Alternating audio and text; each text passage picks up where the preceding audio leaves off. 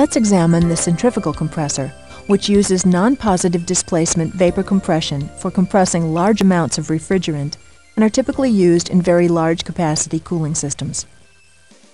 A centrifugal compressor has three basic components, an impeller, a diffuser, and a volute casing. Large capacity centrifugal compressors may have two or more impellers or stages in the same casing. Centrifugal compressors are usually driven by hermetic electric motors. However, open drive centrifugal compressors are also available for applications using steam turbine, gas turbine, or engine drives. The impeller is a rotating circular disc with curved blades that is driven at high speed by the electric motor. As the impeller rotates, it moves refrigerant vapor from the suction opening in its center to the outer edge using centrifugal force. The vapor enters the suction at a relatively low velocity and leaves the outer edge of the impeller at a high velocity. This means that the impeller transfers its rotational energy to the vapor, but high velocity does not relate to high static pressure.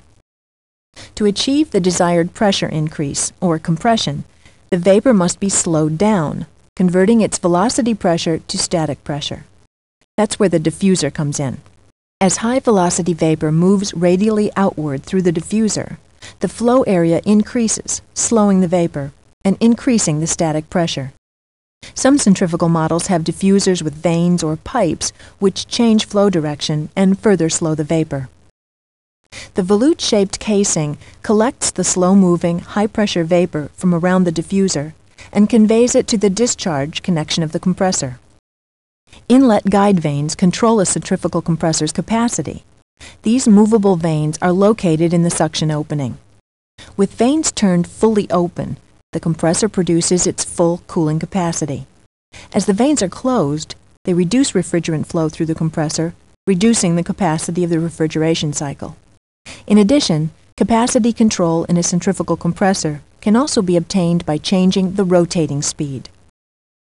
This concludes our segment on the mechanical non-positive displacement vapor compression cycle using a centrifugal compressor. Please take a moment to complete the following learning activity. To continue, make your selection.